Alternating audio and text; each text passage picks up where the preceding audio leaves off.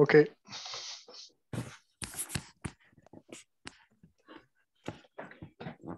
Okay, so uh, good morning, everyone. Um, so today, um, as I said last time, I'm going to explain to you um, a sort of new strategy that uh, I have been de developing for the last years, and uh, hopefully it will, um, in some sense, put, put all these uh, things in a more general, um, let's say, more um, conceptual setting, and hopefully will allow us to generalize these results to to higher dimensions, right? So essentially, what's the problem with uh, the, the previous strategy that I explained to you? So I recall that you there's these two cases where we we were able to um, prove the resolution of singularities for for vector fields or foliations by curves, uh, and uh, so in both cases we somehow has has used the the particular structure um, in the some particular structure in the, in the ambient space. So in dimension two, there is a, the divisor which somehow uh, guided the, the choice of coordinates. And in dimension three, I had introduced this uh, new structure called an axis, which um, essentially allowed us to, to control and rigidify the local change of coordinates, right? So the problem is that when you try to, to generalize this to higher dimensions, um, they don't behave so well by blowing up. Okay, so essentially, if you recall, I, I explained to you that when we blow up an axis, so this is essentially a regular foliation, which is generally transversal to the bad locus or the nilpotent locus. When you blow up this axis, you would like to have an axis for the, the new foliation but you have problems in one direction, right? The direction given by the, precisely by the, the leaves of this axis. And in, gen in general, in dimension, so in dimension three, we are lucky because these points uh, don't pose any, any other problem, but in higher dimensions, it's not true.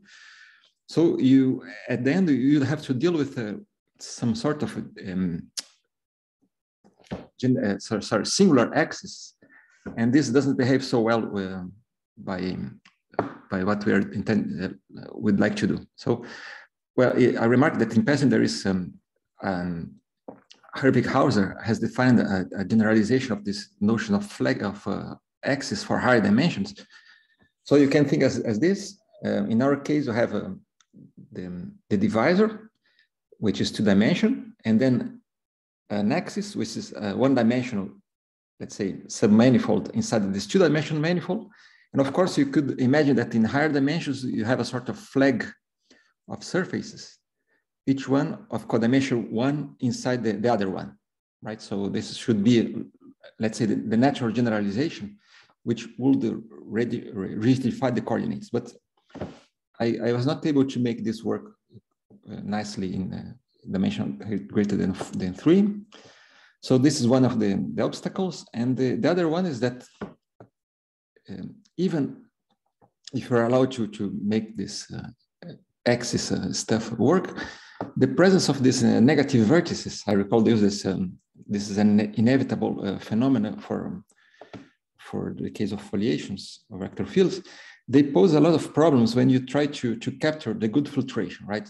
So essentially speaking, you have to to look for this uh, good phase in the polyhedron and prove that the, they, it defines you uh, an environment which is uh, intrinsic, upper, upper semi-continuous, and so on, right? So now, uh, so I decided to change completely the strategy and uh, well, let's say restart from the basis. I mean, what what do we want to do? We want to find an environment and a, a filtration which, well, let's say the minimum requirements that they are intrinsically attached to the local object, right? And the, the requirements are that the local blowup, which is determined by this filtration, right? So I recall the filtration is a quasi-homogeneous filtration, uh, which is um, somehow um, defined by, by a good choice of coordinates. Okay. So the local blowup with the center determined by this filtration should reduce the invariant, right? So this is, let's say, the basic requirement. And Then there is for the local resolution, then for the global resolution, we'd like this invariant to be upper semi-continuous with respect to the analytic or, or Zariski topology, depending on the category that you work. And uh, okay, so now I, I, I stated some um, um, new guiding principle is that we I don't think that you have to treat separately the case of germs of vector fields and germs of uh, functions. Okay, so in some sense, um, why the treatment should be different for, for, for both of these. So my, my, in my strategy, I would like to treat this, uh, both of these objects in a, an equal footing. I mean that the, same strategy should work for both. Okay. Uh, so uh, let's say the, the, unifying language to, to, to, to, to speak about the, both of these objects is, is to see them both as uh, differential operators. Okay, I'm going to, to explain this. And uh, let's say that um, and by treating uh, these two objects as a differential operator, or more generally by treating any differential operator in a equal footing, in some sense we have, we, are going to see the things for a more general perspective and um, uh, I, I, as I go to explain to it, it gives us a, a new point of view, which, well, I, I hope will will um, make things more more conceptual and then uh, allow us to define a, a, strategy which which don't have don't have these two um, problems here. Okay. So um, why study why study um, singular differential operators in general? Well, there are very natural examples where these things appear. So let me just give an, a, a, case of an order two differential operator, which appears very often in, in, applications. So if you take the Laplace equation on an open manifold, so there is a very well developed theory of um, elliptic, oper, elliptic operators on compact manifolds. But let's say you have this uh, um, Atiyah, uh, Atiyah Singer indexes and um, let's say local resolvability and so on. But when you try, uh, when you uh, treat uh, open manifolds, then there is a problem uh, on the, bar. let's say when we have this such kind of ends, let's say some part of the manifold which is non-compact. So we call this an end.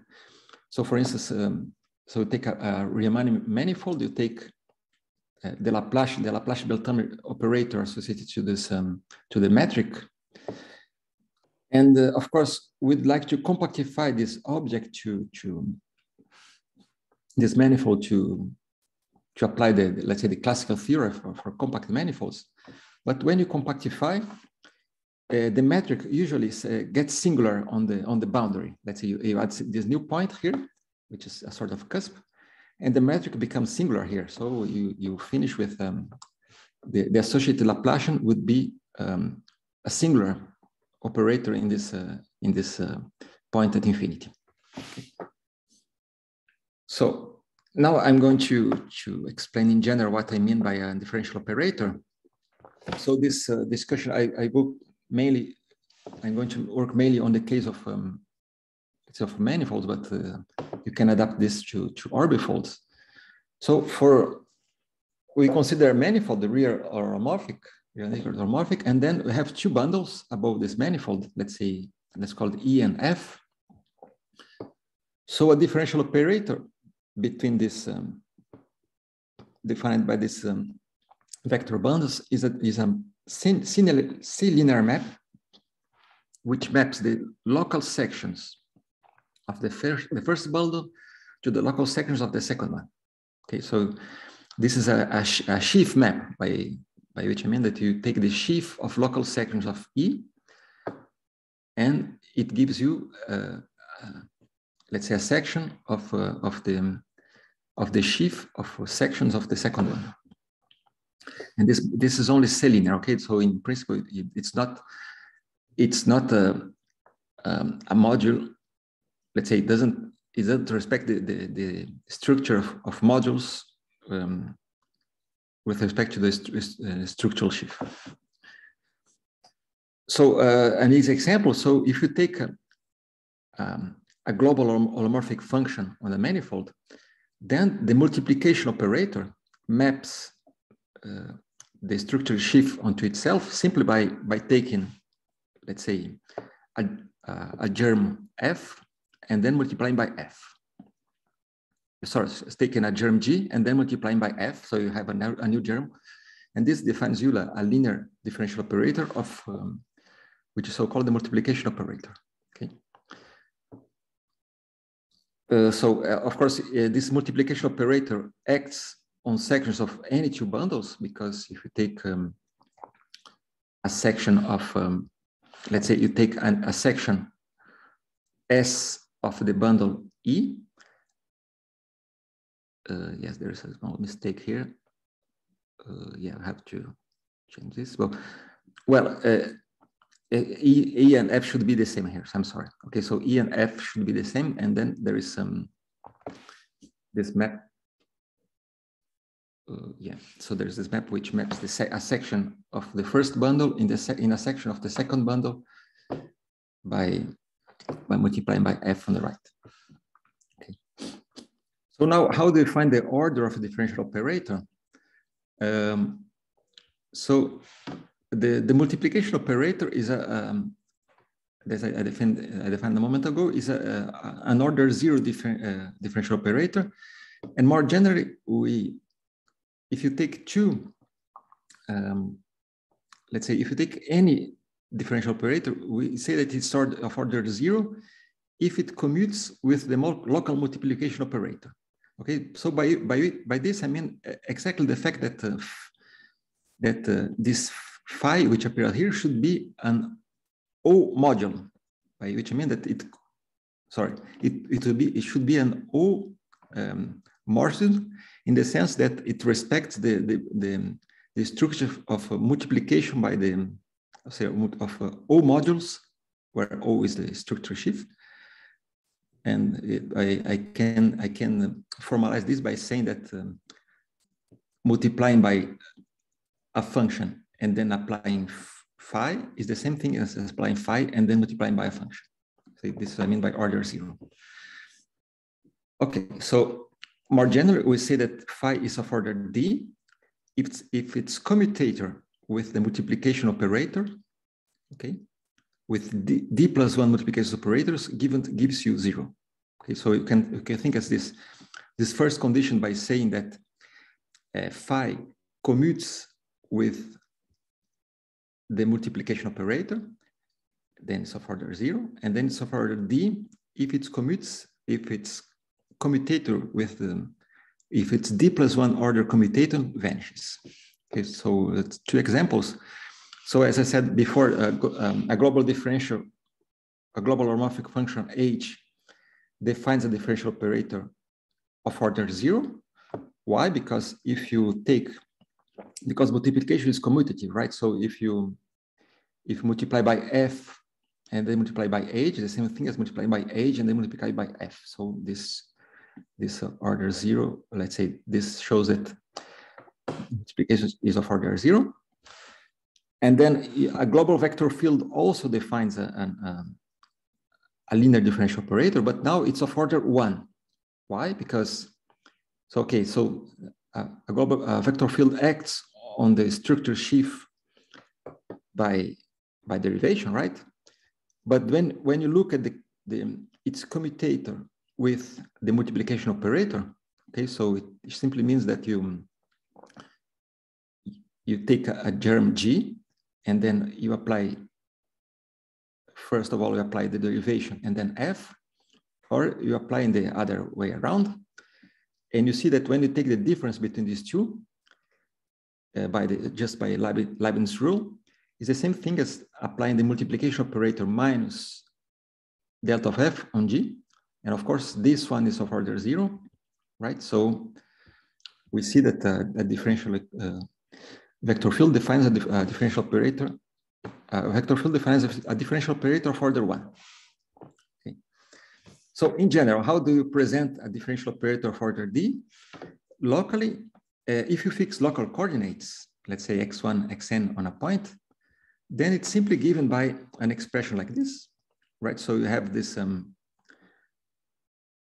um, this now here I'm using the, this multi-index notation as, as, as, always. So this is um, D over dx1 to the power k1, d over dx2 to the power k2, and so on, where k1, k2, etc., kn is a, a vector whose uh, sum of entries is more or equal than d, right? So, and then there is this uh, phi k here, where, uh, which are matrices of holomorphic maps of rank k times rank of e. So, uh, okay, so this is, um, let's say, the general definition, but uh, for the this, um, I'm going to, to say in, the, in what follows, I only consider the case where E and F are of rank one. Okay, so this mean by this, I mean that E and F are line bundles. So if you want, you can think of E and F as um, sections of the, let's say, as the structure sheaf itself, the, the trivial sheaf. But um, in fact, when we start to make, when start to make these uh, blow-ups, even when we start with the case where phi is a map from the structure sheaf onto itself, when you make the blow-up, as I'm going to explain, you have to, to twist these uh, line bundles. And this is why I, I need to consider this more, more general setting. Okay, but locally, it simply means that um, uh, you have a presentation like this, where these phi k are germs of holomorphic functions. Okay, but when you take two of these local presentations, let's say the transition between the phi k on one chart and on the other chart is determined by the, the transition maps of these uh, bundles here. So let's say, uh, I'm not, I'm not at all a specialist on, um, on partial differential equation, but let's say some, some kind of problem that you would like to, to answer when treating differential operators, of course, is, is the local resolvability problem. So given, let's say, G, would like to find F such that phi of F is equal to G. Okay, so let's say this is the problem that you would like to solve. Then there is uh, this uh, indexes problems where you would like to find the rank of phi and its uh, co-rank like the Atiyah-Singer index theorem. And uh, well, there is um, also a whole theory to, to, to try to define the, the inverse operator, but then you have to, to work in a more general class of functions like Sobolev functions or, or, or, or, distributions. And then uh, there's the whole, uh, whole um, calculus to, to, to try to find this inverse operator, which so-called the pseudo-differential calculus. Uh, yeah, so so uh, I'm going just to make a small uh, general discussion. So again, as we uh, we we have seen in the case of um, functions and uh, in the case of vector fields, there is this um, problem of studying the the object from a global perspective and then from a local perspective.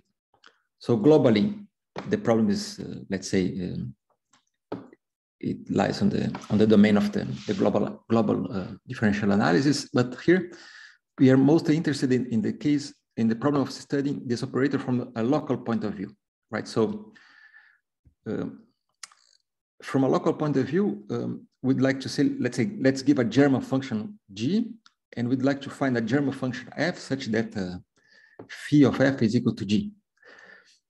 And again, we are confronted with this problem of um, the generic versus the exceptional phenomenon, right? So even if you place yourself in a point, there is um, some points which are in which the operator is simpler than uh, other ones. So the philosophy is that um, the exceptional case, the, the, case where we have this the complicated phenomena, should be um, of small, of uh, let's say of big codimension, right? So the except for a, a, set which are going to define, which we call, let's say, the singular set of the, the operator, the, the, the, behavior should be uh, well, well, well controlled. Okay.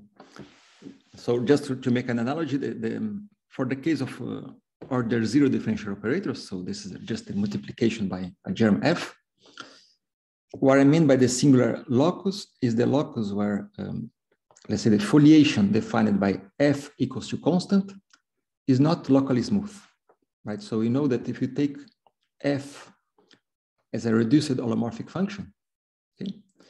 So the level sets, the level sets of f are smooth outside um, a closed subset of codimension greater or equal than two, which is simply given by the set where the, the differential uh, of f.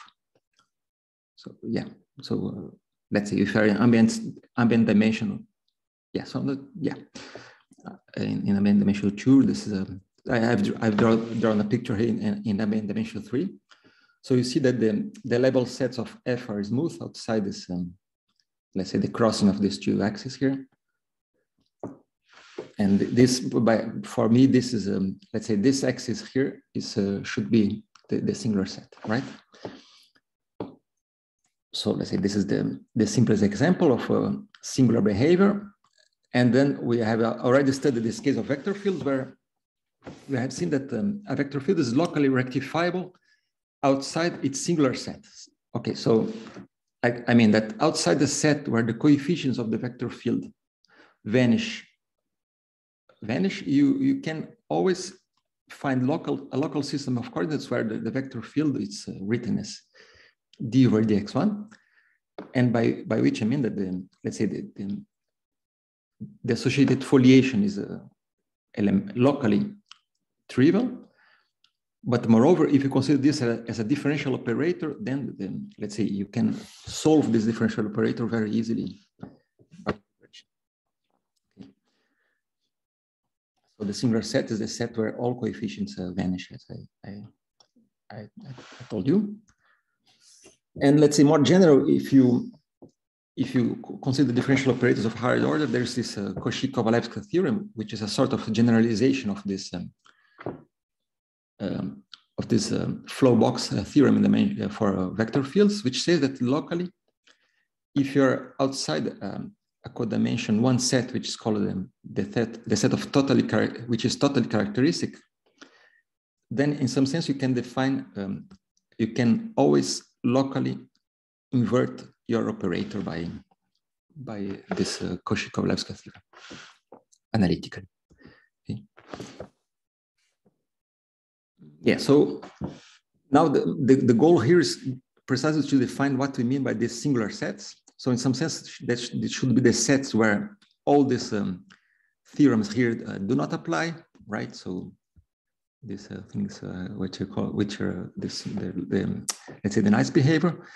And uh, for the most of the talk here today, I'm going to, to try to define to you what I mean by a singular set for a differential operator or for the greater two. So let's say for, for, for us, um, uh, I, I, hope I have convinced you that there is a, a, sort of clear definition what what I mean by singular, or more, uh, let's say, more precisely by by nilpotent uh, set for for for vector fields, and in some sense, I'm going to generalize this for differential operator of, of our higher order. Okay, so what's the approach here? What would you like to do? Uh, once we define this, uh, first of all, we should define the singular, singular locus, right? So which generalizes both the, the case of functions and vector fields. And uh, we expect that the, the, local behavior should be simple outside the singular locus, right? And uh, secondly, uh, we place ourselves in this singular locus and then we'd like to define a modification on the ambient space, let's say, which goes from M, the pair M phi to M prime, M prime phi prime, uh, where let's say phi, small phi is a morphism, let's say, which is proper, uh, restricts to below morphism outside the singular set. And moreover, such that then, if you take the strict transform of the differential operator by this morphism, I'm going to explain to you how to find define this. Then uh, all the singularities. So of course, as you have seen, we cannot get rid of the singularities. It uh, is it's already very clear in the case of foliation by curves, as I, I recall to you that in, in the case that you have a, for instance, um, a saddle point, you cannot get rid of the saddle point by blowing up because it's um, it will appear again uh, by in the, the stricter transformed foliation. But we, we don't expect to get rid of the singular set, but that all singularities which appear on the singular set of this new operator phi prime should be uh, amenable to some sort of normal form theory.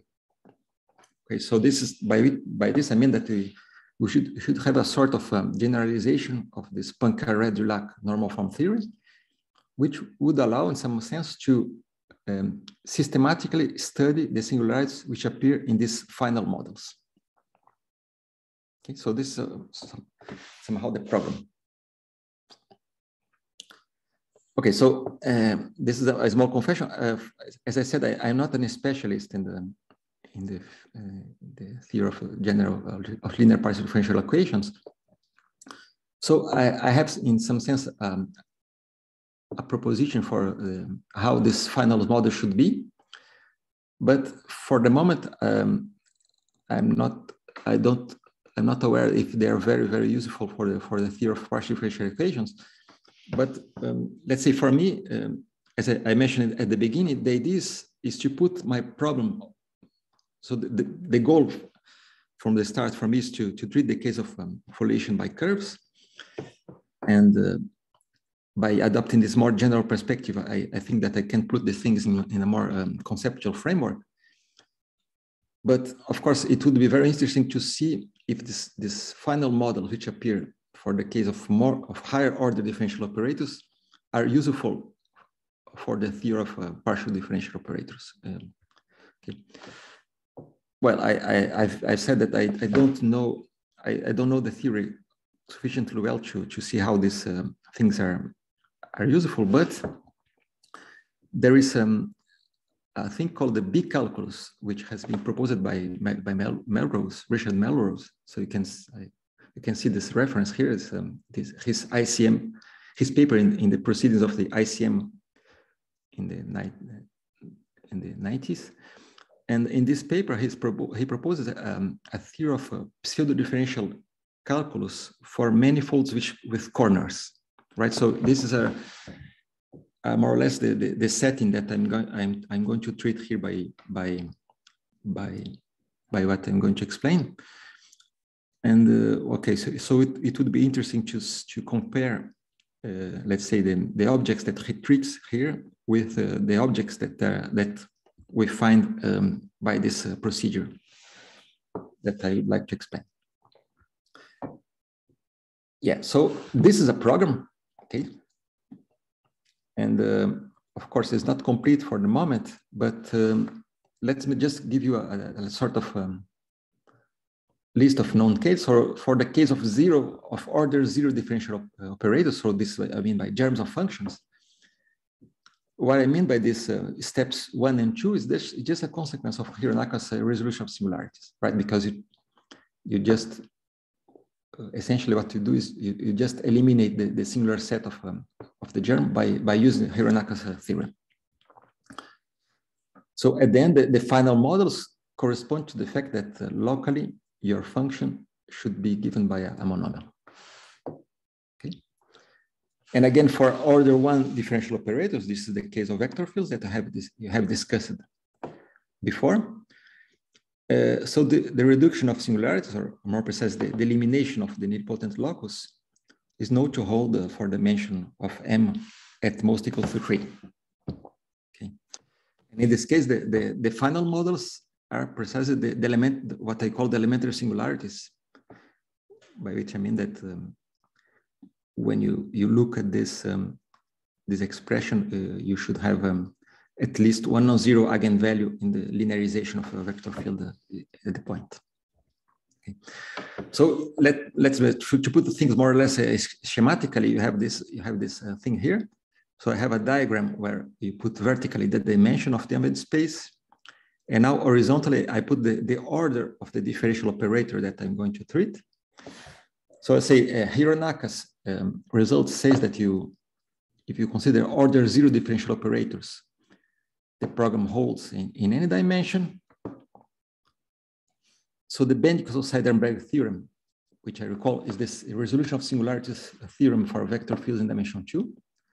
So says that if I have differential operators of order one, then you can go up to the uh, to dimension two here, right? So the result that I explained to you um, in the last sections uh, shows that you can always treat the, you can also treat the case of um, order one differential operators on, uh, let's say, ambient dimension three. And um, well, what I know to do up to now is uh, this.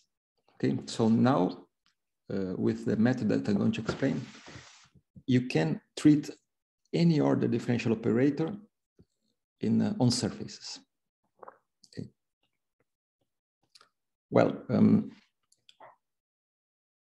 to, to be completely honest, um, the let's say the, the new method uh, allows us to prove this, um, let's say this um, resolution of, uh, of singularities for any order differential operators, but this could also be achieved by a more um, direct method with uh, the ideas which are quite similar to the ones that I have explained um, in the first sections. I mean, by, by looking just to the Newton polygon of the differential operator, I'm going to explain how to define this and apply the, the techniques that I have explained before. So let's say in this, for the dimension up to two, you could also achieve this result by more traditional methods. But the idea for me is just to, to, to, to try to use the, use the low dimensional case as a test to show that this strategy can work also in this, let's say, in, in this um, higher dimensional situation where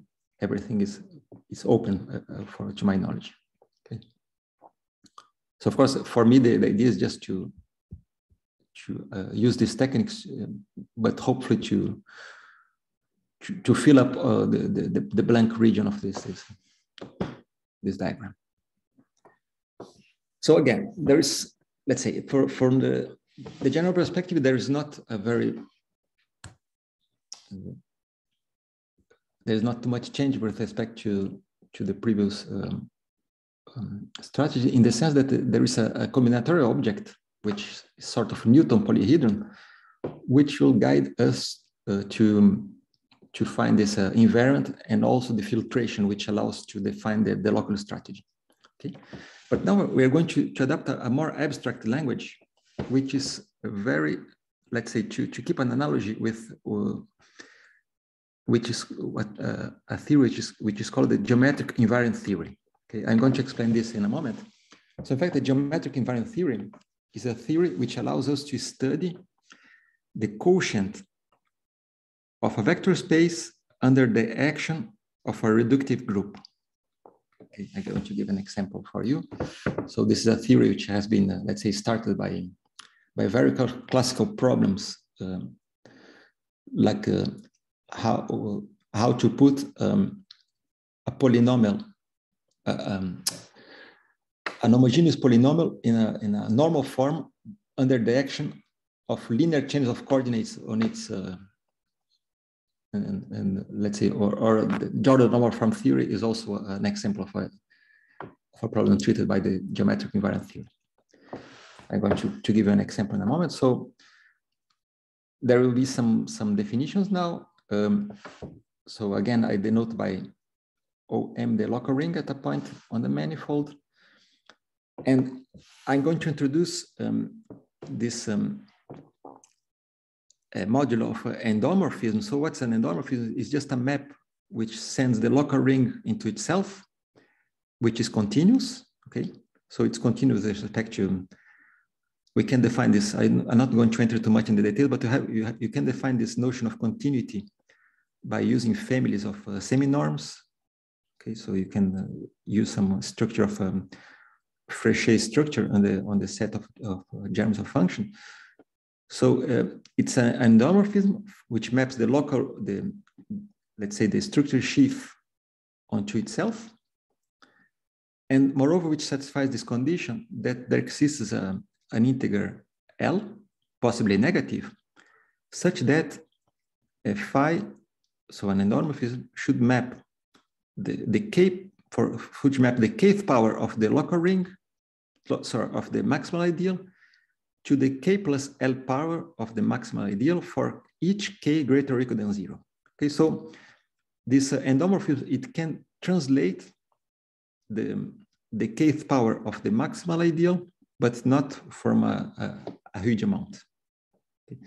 Well, in the case where this L equals to zero, we say that the differential, that this endomorphism is uh, local.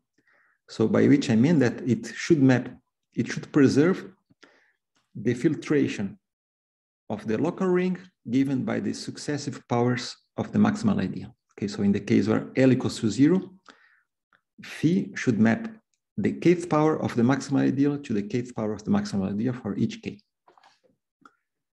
Yeah, so now inside this endomorphism, uh, the set of endomorphisms, we have the, the derivations, which are nothing else than the, the uh, particular, like called the local derivations, the, uh, a sort of particular subset of endomorphisms, which satisfies the Leibniz rule. So of course, this means that if you take any two elements of your um, of the, the structure sheaf, then the the der derivation should satisfy the, uh, the, the usual Leibniz rule. And again, you have inside this uh, endomorphism, the set of endomorphisms, you have the group of automorphisms, which are precisely the, the endomorphisms which satisfies this uh, second rule here. Okay, so it, it respects the, multiplica the multiplicative structure of the, of the, the local ring. Okay.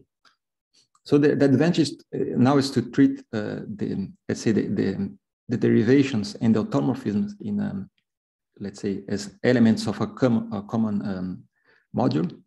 And this will be uh, convenient for us. Of course, um, yeah, that's so, this. Then again, uh, you can always you can also consider this the formal counterparts where instead of taking the, the local ring, you take its completion with respect to the to the powers of the maximal idea. So the and then you you uh, this condition here uh, is uh, the one that uh, assures the continuity of the the formal counterparts. Um, so this is precisely what I mean by this. Um, the, the thing the, by saying that you you don't you don't have to displace from an arbitrary um, order the, the, the powers of the, the, the maximal idea. Yeah. So again, um, so the, the endomorphisms, eh, they act on the local ring, okay, of course. And as a, as a consequence, they act also on itself by conjugation, okay, by which I mean that if you have two endomorphisms, psi and phi, and you have a, let's say, a, a f, an element of the local ring. So of course, you'd like to, to have this uh, equation here, right? So by which I mean that you define the action of psi on phi by, by the conjugation, right? So exactly as in the case of um, the group of the linear group acting on a, on a, on a, on a vector space. Okay, so now, this is the fundamental definition. How now uh, they have this what you call the maximal torus. What's the maximal torus? Is just a subgroup of the group of local automorphisms, which is isomorphic to the multiplicative group.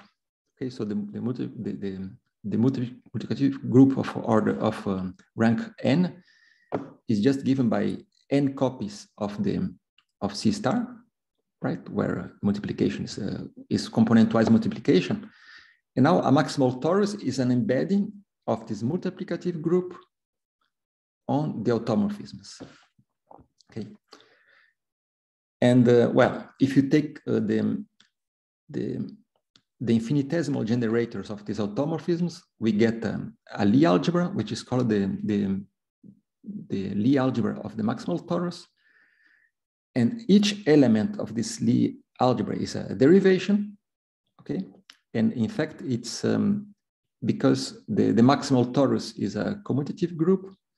And uh, yeah, and uh, each element of this maximal torus, um, yeah, so due to this um, abelian structure of the maximal torus, you can show that this each element of this Lie algebra would be a semi-simple derivation lying here.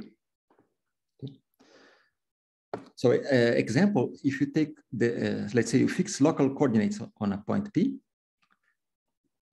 then uh, there is the, the, the, standard action of the torus on the local ring with respect to these coordinates, which is simply given by, by say that you take T1, Tn as non-zero complex numbers, and then you multiply T1 by X1, T2 by X2, and Tn by Xn.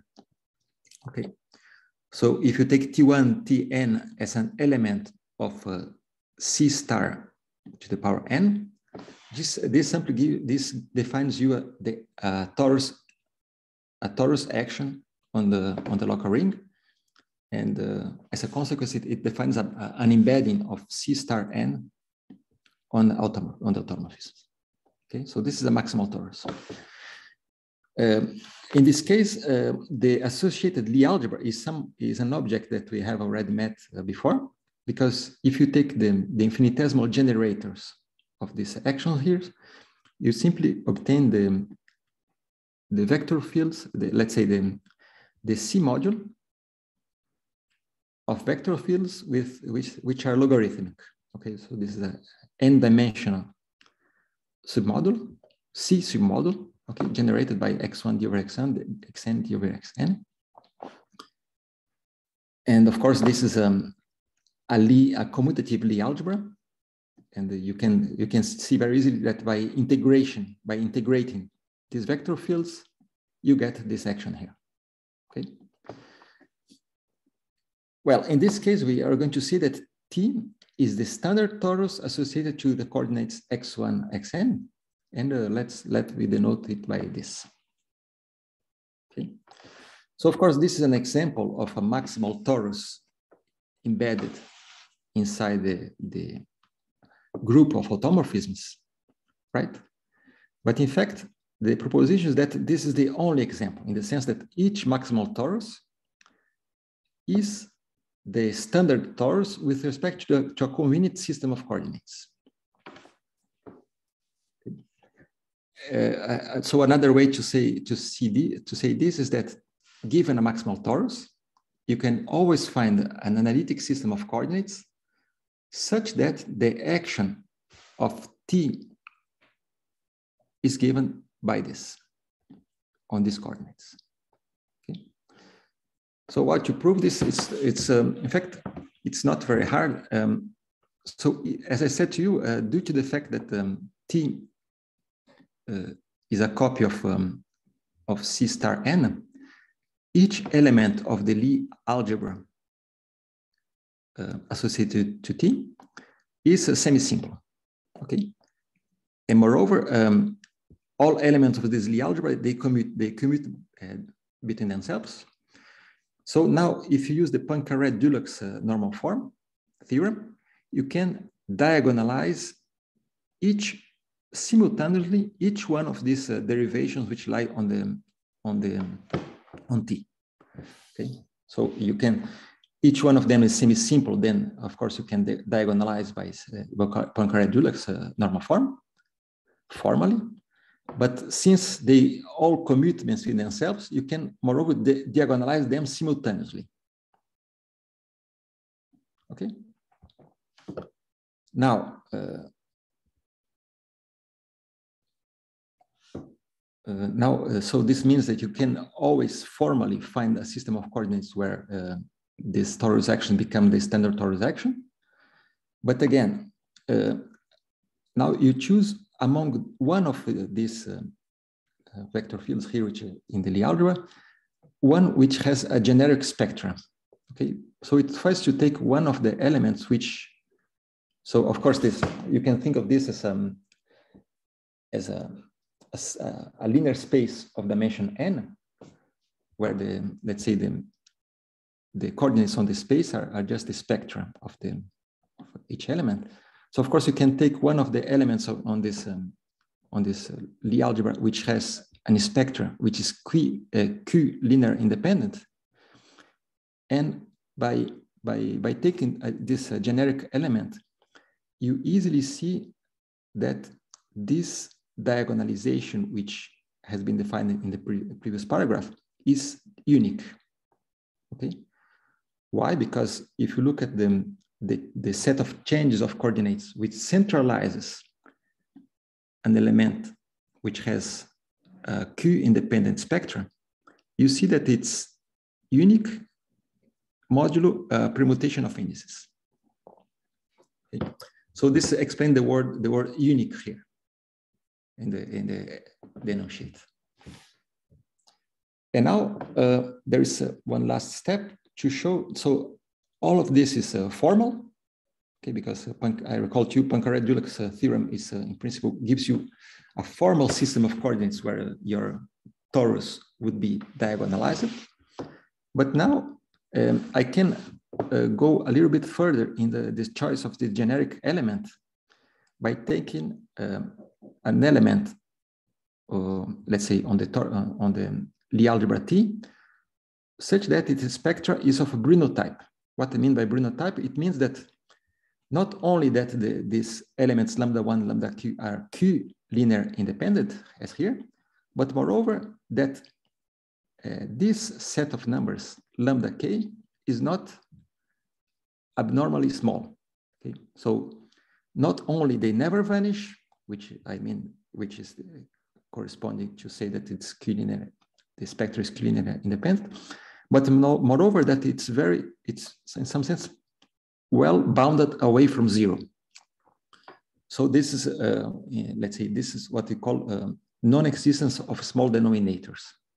So if this holds, we can prove, so this is Bruno's uh, theorem, that uh, in fact this linearization, let's say this map which linearizes this element delta here, which in principle is only formal, is indeed analytic.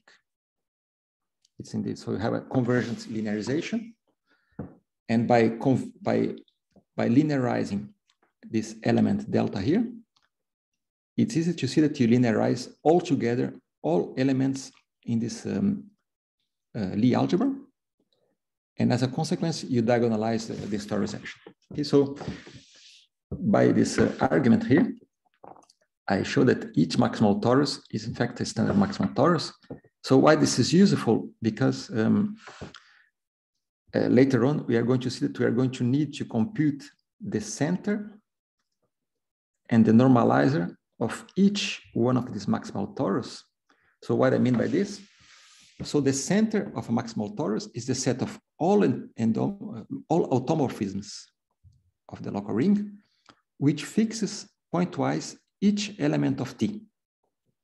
Okay, so as I said to you, the, the automorphisms, they act on themselves by, by, conjugate, by conjugation. So we take each automorphism on T and then you conjugate by, by an element of, uh, of a general automorphism, you get a new automorphism, but in principle, it's not, it's no longer on this maximal torus. So we define the center of T as all automorphisms which fix pointwise each element of T. And we define the normalizer of T as a set of all automorphisms which map T on itself. Okay.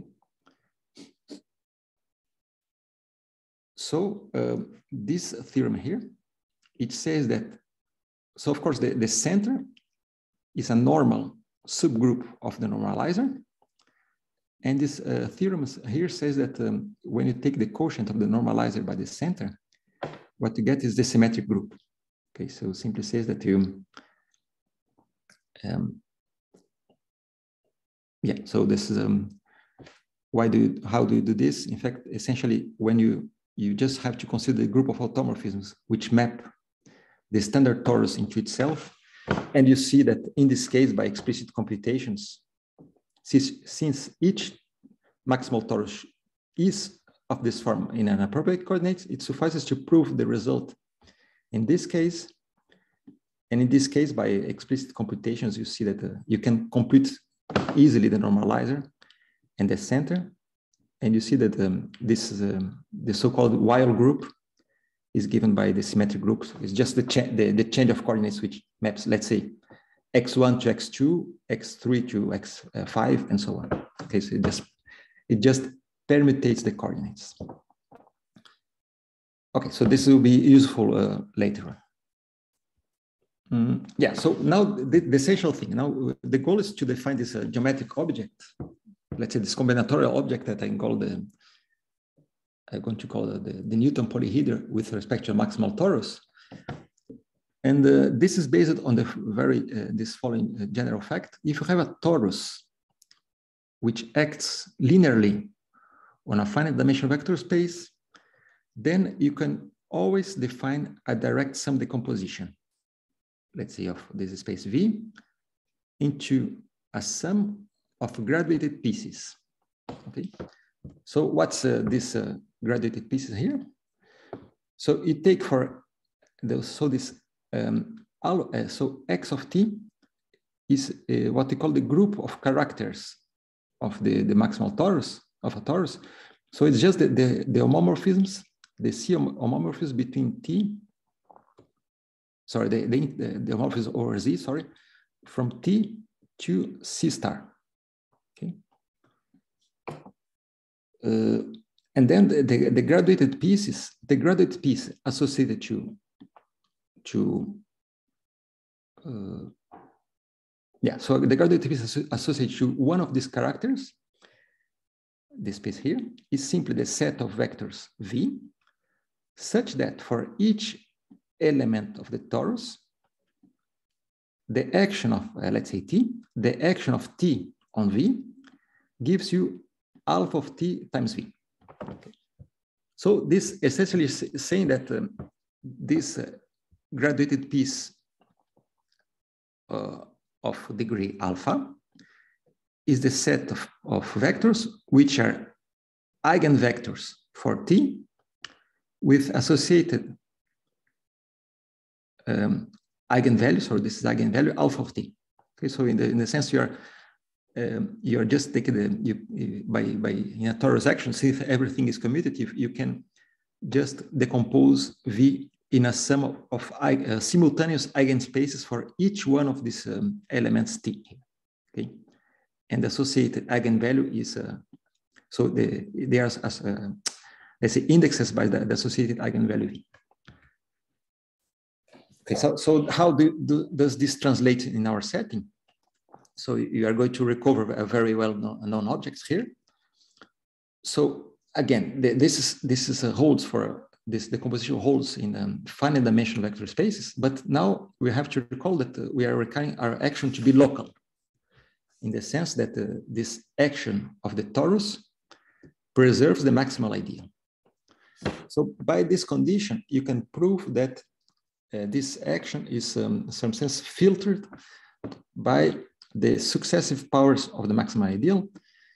And by, by which means you can study this by, as a, an inverse limit of the action of T on the jets, on the finite jets of O, right? So this always, so this is compatible with respect to the, to the truncations and gives you, a, again, a direct sum decomposition with respect to any max, so given a, any maximal torus T, you have a direct sum decomposition of the local ring in this um, uh, infinite, infinite sum here, okay, in principle, uh, where each element uh, of this graduated piece is in some sort an homogeneous germ of degree alpha.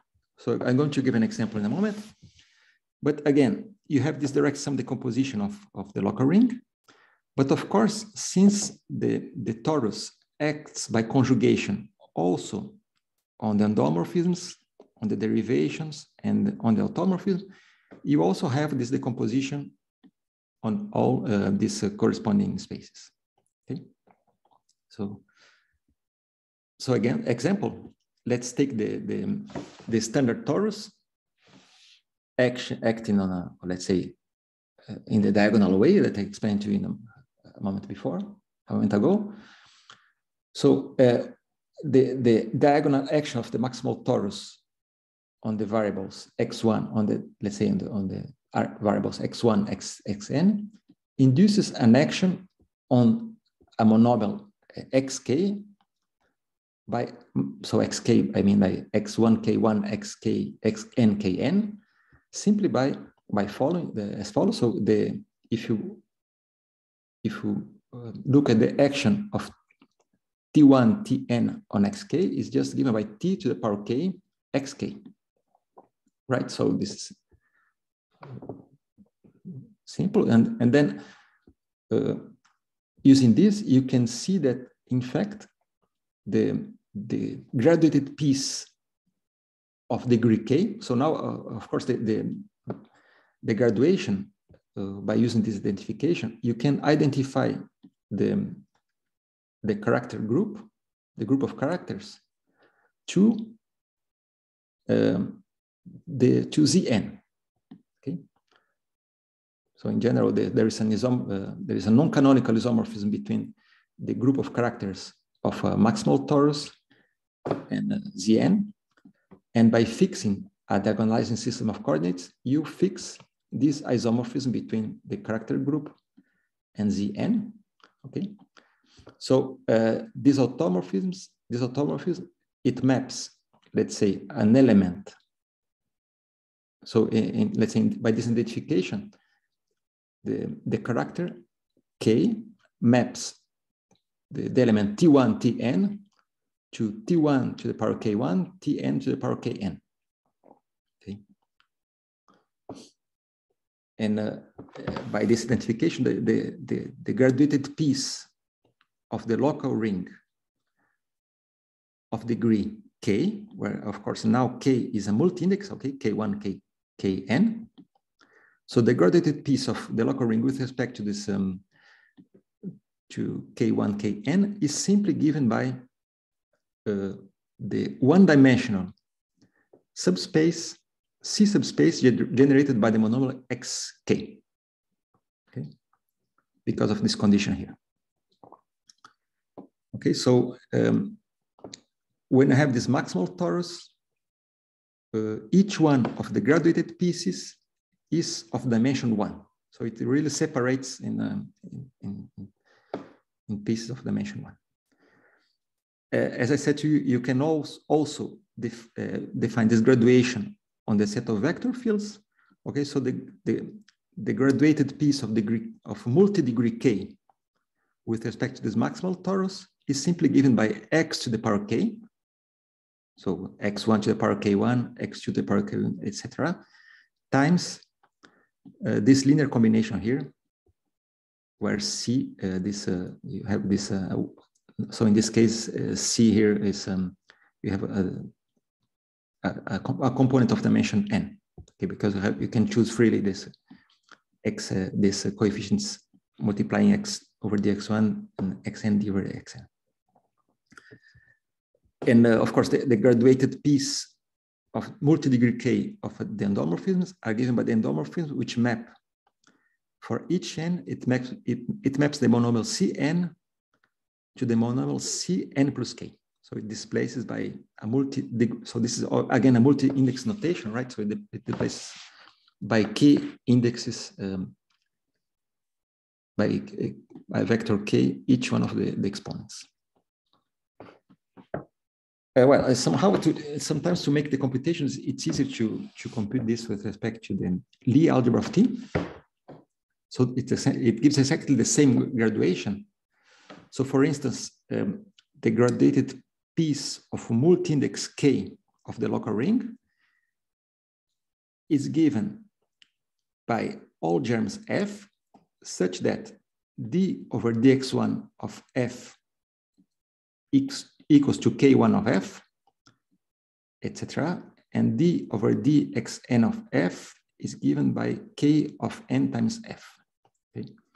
Of course, if you take the, the, let's say the Taylor expansion of f with respect to the to the variables x1, xn, you see that these conditions means precisely that f has only one monomial, which which should be of this form here, right? So this defines the graduated piece.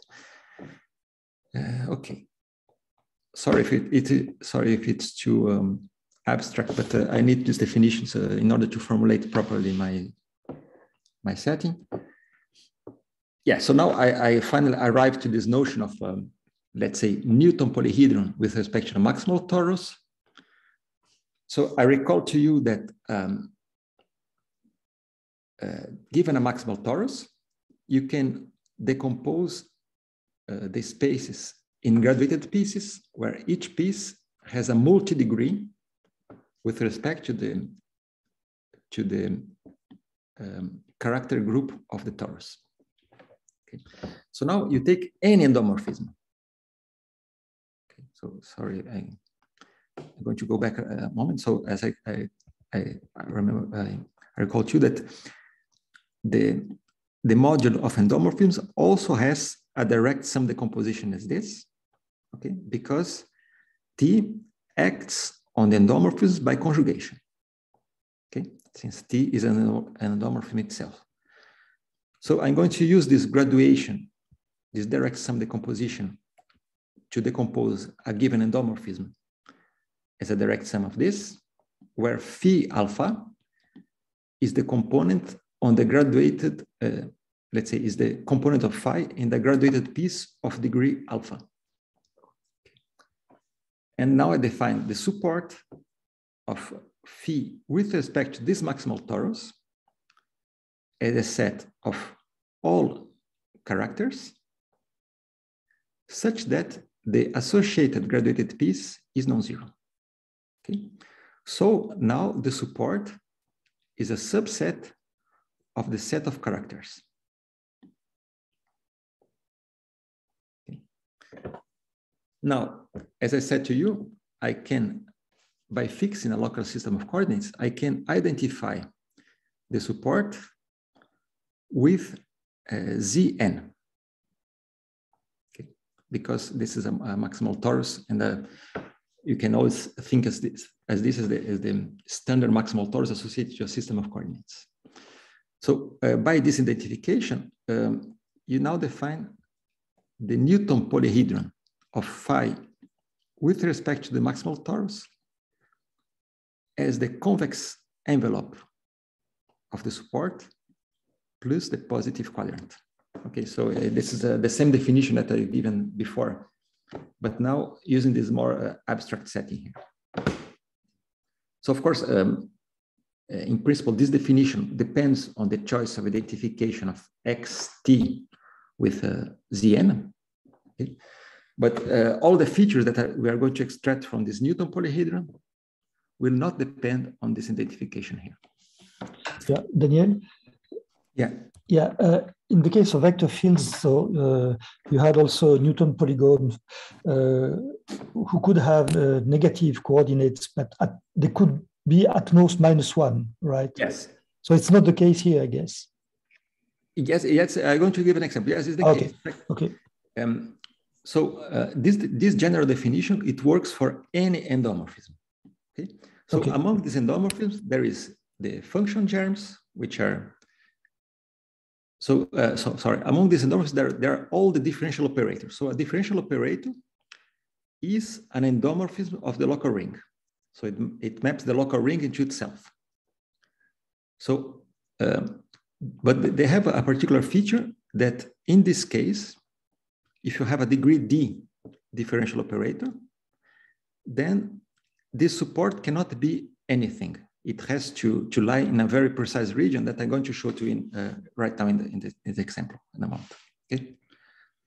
So, so how, the, how it works? Uh, so I said that uh, if phi is a differential operator of order D, how do you compute the support? You do as follows. So uh, let's suppose that uh, T is the standard uh, maximal torus for some system of coordinates x1, xn. Then you compute the expansion of phi with respect uh, written in this form. So I recall to you that now, um, again, uh, as in the case of vector fields, I have to force the appearance of these polynomials.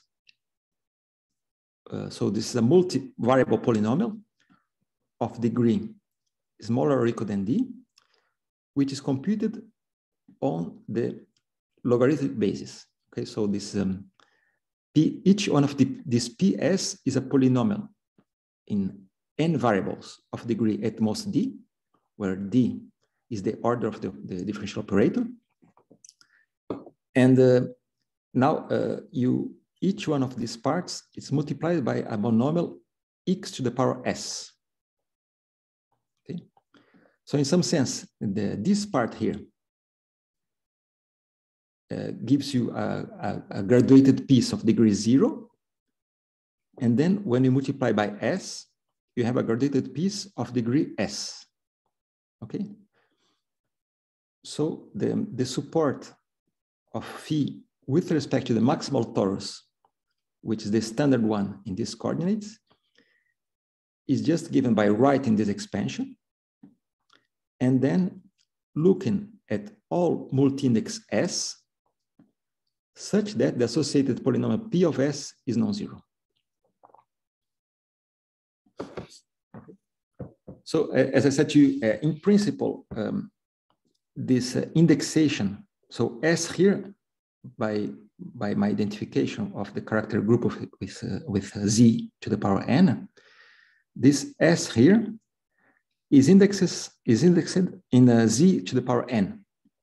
Okay, but um, we see that if there is a differential operator of order D, uh, what happens is that by forcing the appearance of this logarithmic basis here, you should sometime take S to be negative, okay, but not too much negative. At most, uh, let's say each entry of S is greater or equal than minus D, where D is the order of the, of the operator. So I'll give, I give an example. So of course, in the zero dimensional, the order, the order zero case, so this is the tertiary case of differential operators of order zero. So these are just function germs. Okay, so they, uh, I have already seen this example. So if you write y, f as y to the square minus x to the power three, right? So in this case, um, you have the support is uh, this one, and this is the Newton polygon of F with respect to the maximal torus okay? Then for vector field, differential operator of order one, now you can have negative vertices in the polyhedron, sorry. Yeah, so again, I forced the appearance of this uh, logarithmic basis here, okay?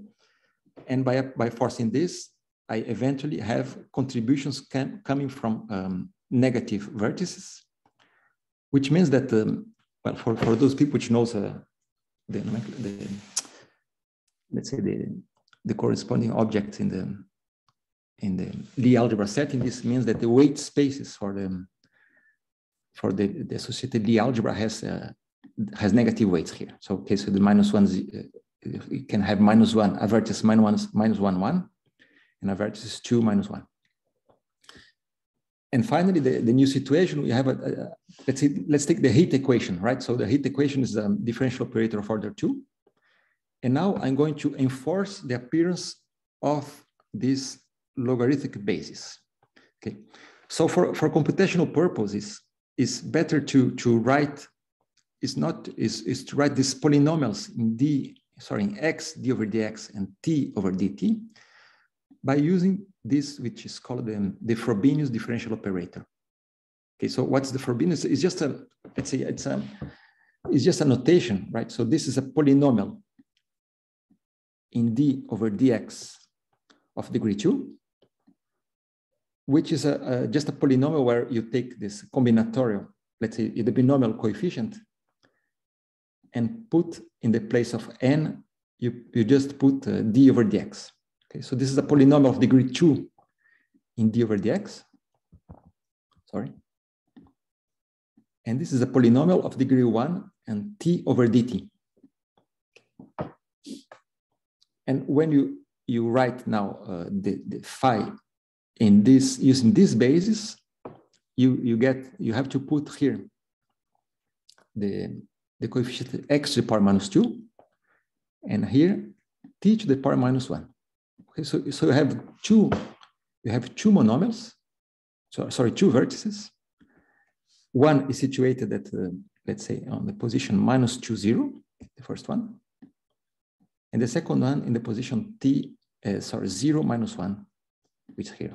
Okay, so now you, you see you have these two negative uh, vertices, and uh, there is a, a, a vertex at, at position minus two because let's say this is the worst possible situation since the operator, the differential operator is of order two. If it were of order D, then you could get something of the vertices at position minus D0, for instance. Okay. So again, we have this phenomena which uh, in some sense is inevitable, is the appearance of these negative vertices in the polyhedron with respect to any to, to a given maximal torus. Okay. So in fact, if you change the maximal torus, uh, this uh, phenomenon will persist because it's uh, intrinsically attached to the, to the object. Okay, so now uh, there is, so I've, I have defined the, the polyhedron of an endomorphism with respect to a maximal torus. And this is precisely one of the objects is very useful in the geometric invariant theory. So there is um, something I, am going to, to explain in a moment, which is called the Hilbert-Mumford criterion. But I'm going to just to, to adopt the following dichotomy between uh, the situation that can appear when considering the, the Newton polyhedra of an endomorphism. There are two possible situations. The first one is the so-called unstable situation, where there exists a maximal torus such that the Newton polyhedron of the endomorphism with respect to the maximal torus does, uh, does not contain the origin. Okay. So this is the so-called unstable situation. So I recall to you that the, we are here we studied the germ of a differential operator in a point P on the manifold, right? So everything here is germified on a point. And the second situation is that the germ of endomorphism at the point P is semi-stable if for all maximal torus, zero lies on the Newton polyhedron. Okay. So if you recall uh, what I have done in the case of, uh, of vector fields, these were precisely the, the dichotomy which separated the case of nilpotent germ or the case of an elementary germ. Okay, so now we are some sort of generalizing this for the, for the case of any of any order differential operator. Okay. So now, uh, so this defines uh, a germ of endomorphism. Let's say this, this condition co corresponds to, let's say, a, a property of a, the germ of a, an endomorphism at a point. And now from a global point of view, we're going to say that um, the unstable locus of an endomorphism is the set of point P such that the germ of phi at the point P is unstable. Okay, so this is a um, the the let's say for us this will be the bad locus. So this is the the set of points that we would like to eliminate by our resolution process. So this is my proposition for the the set of um, points that should be um, should disappear by um, this sequence of uh, blowing ups. Well, so why I, I think it's uh, not so bad because in the case of um, let's say where phi is of order zero, I recall that this means that um, phi is given by a scalar multiplication operator. So what's the, the unstable locus in this case? The stable, uh, the unstable locus is simply the variety defined by f. Okay, so it means that if you uh, if you look at the, the Newton polygon of a function with respect to, to sorry, the polyhedron of a function with respect to any maximal torus, it locally con it contains zero if and only if the function f vanishes on p. okay. So this, um, sorry, p, p is on the unstable locus if and only if f, the germ of f on p lies on the maximal ideal. Okay. and for a differential operator of um, order one, take the case that we, we have studied. Let's say in general, a differential operator of order one is just you have a component a, a component of degree zero, of order zero, sorry, which is a multiplication, and a component of order one, which is a derivation like this, okay? So the case that, that we have mostly studied up to now is the case where you don't have a component of the of order zero. But even in this case, we have, we have just have a component of order zero and a component of order one. The characterization, the characterization of the unstable locus is, is, is also easy because a point P is on the unstable locus if and only if F, so the the degree, the order zero component vanishes on P, and the order one component is locally nilpotent. Okay, where I recall that being locally, that uh, a derivation is nilpotent if it preserves the maximal ideal, and the semi-simple part vanishes. okay, so this is not very, very hard to prove. Well, in this case, it's um, if you look at the definition of, of the instability, you see that um, it is that you can, um, in the case where you have an unstable point, it means that you can separate the Newton polyhedron from zero by a hyperplane. And of course, this, all, always possible, let's say in the case of a function, if um, there is no vertex, vertex, vertex uh, at, at the origin. So it, it, this is why this condition holds. Sorry, I have to drink something.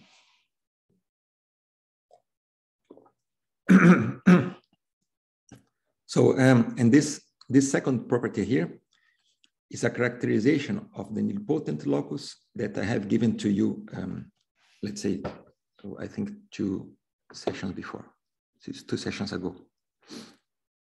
This means this is precisely the, the, the condition of nilpotency that I explained to you.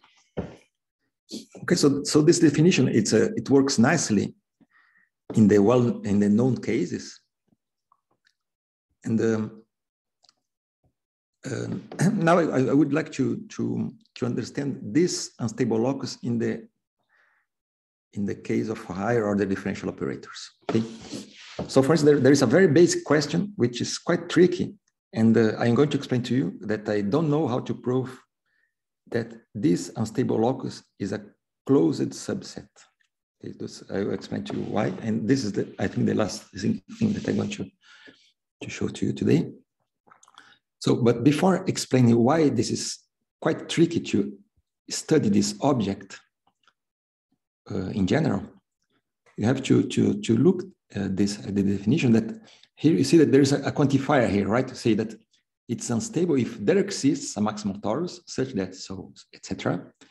So in fact, in order to, to look at this um, at this unstable locus from a, let's say an analytic point of view to prove, for instance, that this is an, an analytic subset of the ambient space, you we should be able somehow to eliminate this quantifier here. Okay and say that the unstable locus is defined by some set of analytic equations. Okay, so now um, to explain this, I, am going to, to give an alternative characterization of the instability via one parameter subgroups. So the what's an one parameter subgroup? It's a torus of dimension one, right? So this is given by um, an embedding of C star into the group of, automorph of local automorphisms.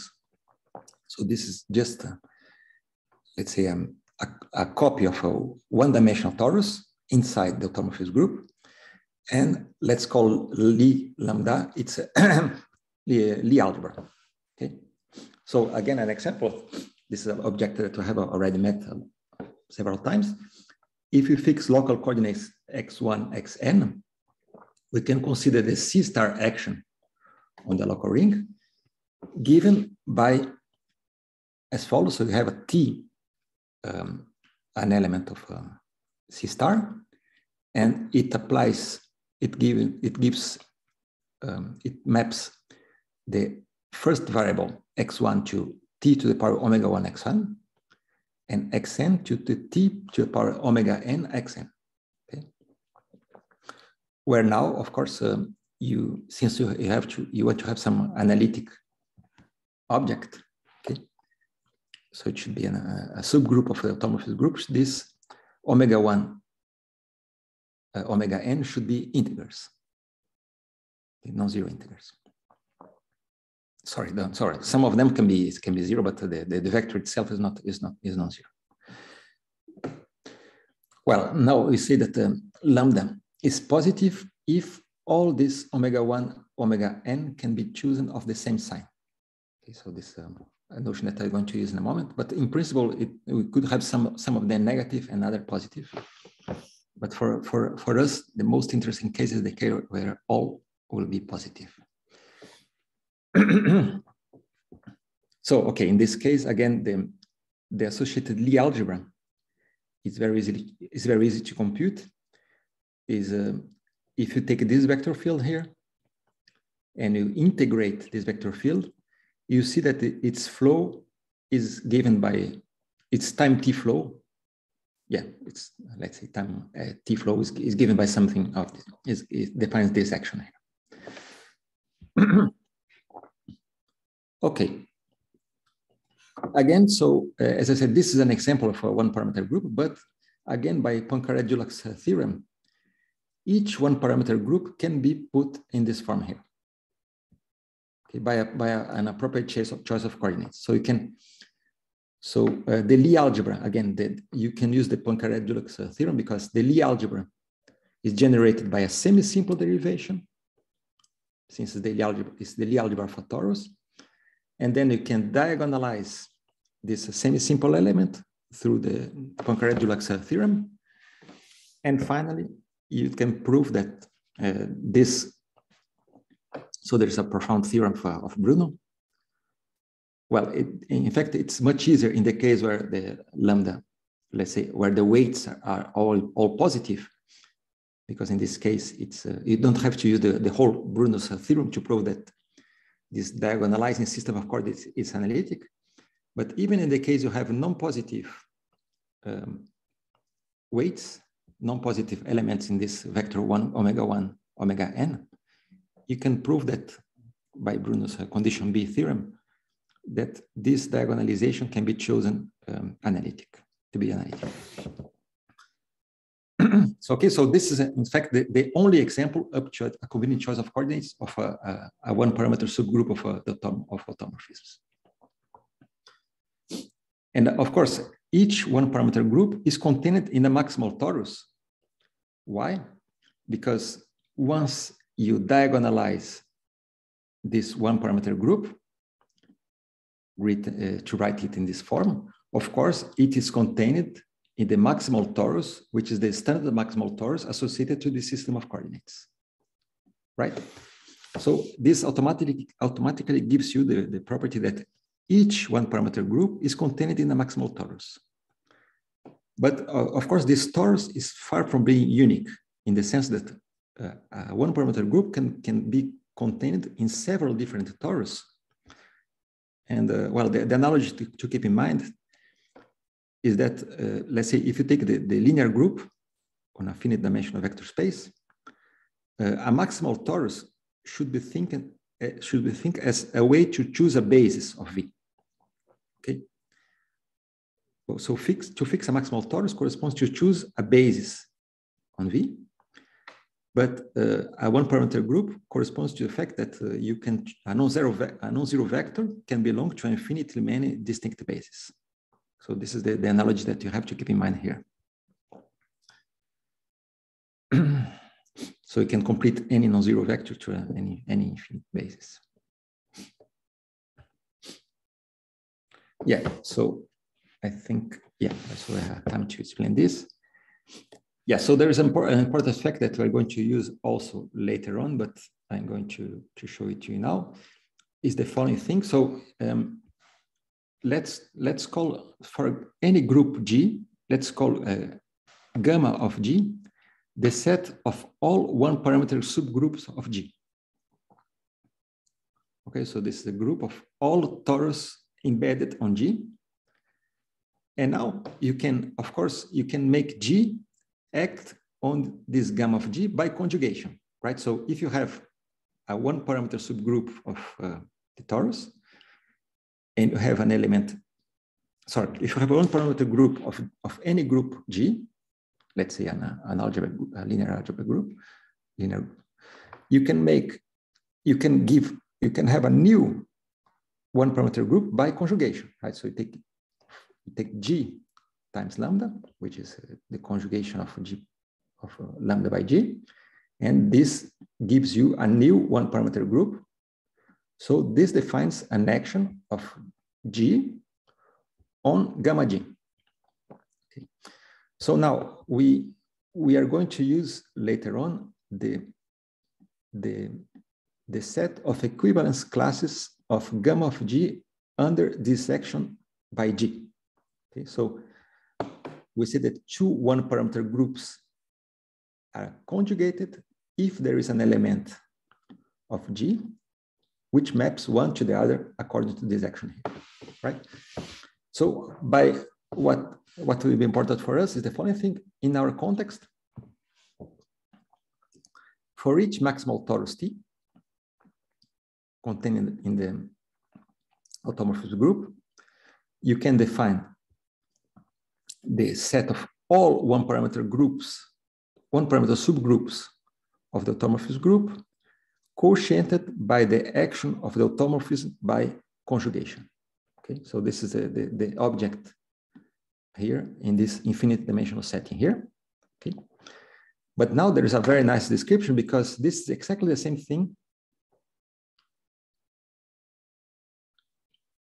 Uh, yeah, so um, the, the equivalence class here is the same thing as taking. For, you fix one maximal torus, you take, I, I should have written here, you take the set of all one parameter groups which are inside this maximal torus, and then you have the action of the, the, the one parameter group, so, sorry, the maximal torus itself on its set of one parameter groups. Okay.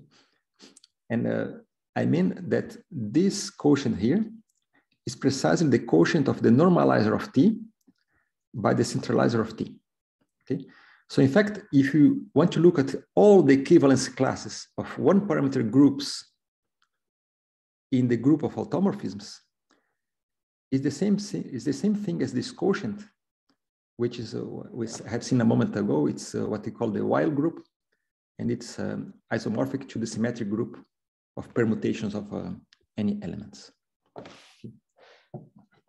So the, the, the, proof is quite easy because um, let's, let's look at the, uh, the orbit of a one parameter group by this action here, okay?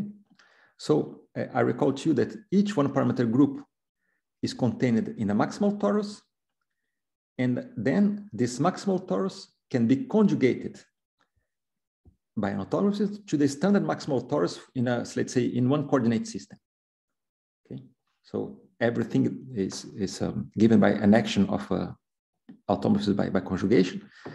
And when you map this one parameter group in the standard, let's say the standard torus associated to the to um, to a to a system of coordinates, then you can just study the action of the automorphism group by conjugation on the elements of this uh, maximal torus.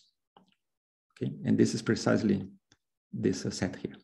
Okay, so you map, so you take a one parameter group, you map it inside the standard maximal torus, and then you just consider the action inside this, which preserves this maximal torus, which is the normalizer, right? uh, quotiented by the centralizer because the centralizer corresponds to, to the trivial actions. But you have seen that this is simply the, the symmetric group. Okay. Yeah, so uh, I go just go back to this, what I, I said to you. That, so the, the, the goal now is to define just go back. So how to characterize the, the instability now using these one parameter groups instead of taking the, the, the, the maximal tor the, the maximal tori. So for each one parameter group, since it's, a, it's also a torus action, it corresponds to a torus action, you have a direct sum decomposition, okay? Of the, let's say of the local ring as a sum of graduated pieces, but now uh, since the torus is of dimension one, uh, this graduation is indexed by z up to a, a non-canonical identification of the group of characters with z. Okay, so you have these graduated pieces, and um, now you have this direct sum, which of course uh, also gives you a direct sum of the endomorphisms, of the derivations, and of the automorphisms. Okay, so just an example here. If you take the, let's say, the one parameter group, lambda of t, on dimension two, which acts on the two variables, x and y. Let's say you are in two variables, right? By x go to the t to the power alpha times x, and y goes to the t to the power beta times y, okay, where with alpha and beta, a non-zero vector, then in this case, of course, the graduated piece of degree k is given by all polynomial, all germs f, which are alpha beta quasi-homogeneous of degree k, right? So this is um, this is precisely the equation which give, defines you the, the graduated piece of degree k. okay. So for instance, if you take, um, let's say, if you take the, the, the, diagram of exponents of f, let's say we take the, the weights alpha and beta it equals to one minus one, uh, these uh, parallel lines here correspond to the graduated pieces of the degree uh, k equals to zero, k equals to minus one, k equals to one, and so on. Okay, so you see that here, in this case, a graduated piece can have an infinite number of monomials course. Okay, so each, each integral point on this uh, dashed line here corresponds to uh, a graduated monomial of a given degree. Mm. Of course, this cannot happen if the, the, the, one parameter group is positive, as I said to you. In the case where the, the, the one parameter group has only positive weights, which is not the case here, of course, then each one of these graduated pieces is finite dimension over C. Yeah, okay. So now I take as again, again, as in the case of maximal tori, I, I take any endomorphism. I, I, consider, I consider its direct sum decomposition. And I, I claim the following. So, sorry, I consider its direct sum decomposition with respect to the graduation defined by a given one parameter group. Okay. So now there is this uh, equivalent characterization of this instability, which says that a germ, the germ of phi at a point is unstable. If and only if we can find a positive one parameter group such that the support of phi with respect to this one parameter group lies on the positive graduated part. Okay, so by which I mean that, um, so now, of course, then, uh, since we, we are in the case of um, a torus of dimension one, this, the polyhedron, let's say, the polyhedron of um, phi with respect to this is a one-dimensional object, okay? Because we, this, in, this is indexed by, by z, okay? So this condition means that this polyhedron, this one-dimensional polyhedron, is situated on the right with respect to the origin. Strictly on the right with respect to the origin. Okay. So what's the proof of this? It's very easy, in fact, in fact, because uh, I, I, I, only going to give a, a visual proof because it's uh, something with, uh, we have already seen. Um, the proof is the following. And so uh, again, suppose that let's prove in one direction. So you suppose that um, phi is unstable with respect to our previous, our previous um, definition. So by which I mean that it's Newton polyhedron with respect to a maximal torus can be separated from the origin by a hyperplane, right? So, but now if you take the one parameter group, which is defined by this, um, let's say by this vector, which I denoted by this arrow here. So this is a vector of um, coordinates omega one, omega n. So this, uh, this is precisely the one parameter group contained in this maximal torus for which, uh, so the Newton polyhedron with respect to this one-dimensional parameter group will have all monomials lying above this dashed line here. Okay, so this, uh, this means that you, you have precisely this second condition with respect to the lambda, which is chosen uh, according to this uh, arrow here. Okay? And the reciprocal is, is quite easy also because if you have this condition, this second condition, I can always embed uh, lambda in a maximal torus where this configuration holds. Okay. Yeah, so this is, um, okay, so I am going to finish with this, this, uh, this uh, open question that um, in fact, I'm going to, to partially answer, uh, answer next, next time, but there's not completely. So the, the above discussion implies that uh, if the order of the differential operator is more or equal than one, then its instability locus is closed. Why? Because I recall to you that I just go back and some. Because in the case where the order of phi is zero, then the stability locus is just the support of the ideal sheaf defined by F. So of course, this is a, a closed subset. And in the case of where the order of, of phi of phi is of phi is um, one, then the instability locus is also defined by these two conditions, which are, are both closed. Okay, they are defined by analytic equations. So in both cases, the, this um, stable, unstable locus is a closed analytic subset or algebraic set, depending on the, on the, on the category that you work. Yeah, but what happens? Yeah, so uh, sorry, I, I, I, just, I, just, repeated here uh, this same remarks that if phi is given by a derivation, the condition of uh, instability, the, the condition of being in the, in the potent locus, is given by, say, by saying that the, the semi-simple part of the Jordan decomposition of delta is equal to zero. But why this is a, a, an algebraic condition? Because this is equivalent to say the following thing. You just look at the linearization of your derivation so this is a linear endomorphism of M quotiented by M squared with, uh, let's say it's a finite dimensional vector, space. And now this is, um, let's say, it's an endomorphism given by some matrix.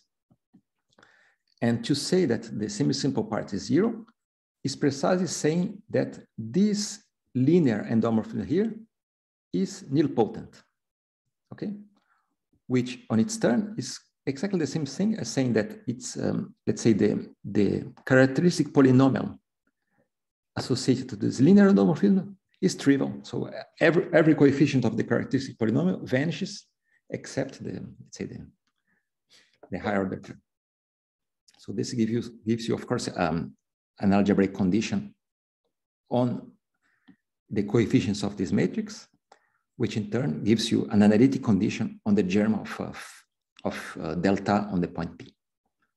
So this, this, this explains why this is an, uh, a closed condition, instability, okay? um, yeah. So uh, for the moment, this is an open problem. So um, to prove that this set is closed for higher dimensional, uh, so let's say for high, higher order differential operators. I don't know if it's, if it's true. Uh, so I, as I said to you, I know that this is true if order of uh, phi is smaller than equal than one, but I don't know if it's true for higher order differential operators. And so uh, in order to, let's say, to, to, to, to work with this, I have weakened a little bit this condition by saying what, what they call a strongly unstable locus, which I, I, I, I, am, able, to prove that this is, um, this is a, um, a closed set. So what's, um, I'm going to finish with this. So it's what's a strongly unstable set. So, uh, so it's unstable in the preceding sense, by which I mean that uh, there exists some maximal torus T such that the Newton Newton polyhedron of phi with respect to t does not contain the origin, but I have to ask this additional condition here that phi should preserve the filtration of the local ring given by the powers of the maximal ideal. Okay, so uh, I'm going to explain why this first condition is not um, is not empty, right? So take this example. So I'm going to finish with this. Okay, so this is a second order differential operator. Okay, so you just take x to the power minus one y x. So, and now I'm going to draw its Newton polyhedron. In this case, it's a polygon of dimension two. So it has one monomial here, minus one, one, sorry, minus two, one, and four, zero. Four. And you see that um, the Newton polyhedron is separated from the origin because you can always draw a straight line here which is just below this uh, edge here, which separates the, poly, the, the polygon from zero, right? So this point, this germ is unstable according to our previous definition, but it's not strongly unstable. Why? Because uh, this first condition here requires, in fact, the following thing that if you draw, if you draw, this is equivalent to this, if you draw this dashed line, which is the line of slope minus uh, of slopes minus one, minus one, the all the the vertices of the corresponding polygon should be above this line. So this is the precisely uh, the geometric way to see this condition. Okay. So of course this this not, does not hold in this uh, in this example. So this is a, an example of a situation which is which is unstable but it's not strongly unstable. So what, I, yeah, well, I, I, don't have time to prove this, but uh, what I'm going to prove in the next time is that I, I denote by strongly unstable the set of points where the germ of phi is, uh, is uh, satisfy this condition. So it's S unstable phi so it's obvious contained, contained in the, in the unstable locus. And this is the set that I'm going to prove, I, am going to prove that it's closed. Okay. So by doing this, this I, am going to show to you um, on the next session how this um, geometric invariant theory enters in the game in a very strong way to prove this property here. And now uh, how it works also to, to, to give you a strategy that I hope we will work in higher dimensions. Okay, so thank you very much. I just stop here.